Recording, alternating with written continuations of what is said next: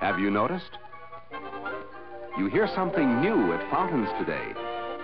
People who think young say, Pepsi, please. The lively crowd today agrees.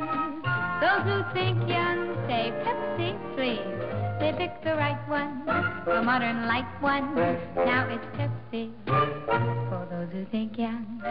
When you say Pepsi, please, you're putting yourself among people who like their leisure. With Pepsi, the drink that's young. So go ahead and pick the drink that lets you drink young as you think. Yet get the right one, the modern light one. Now it's Pepsi for those who think young.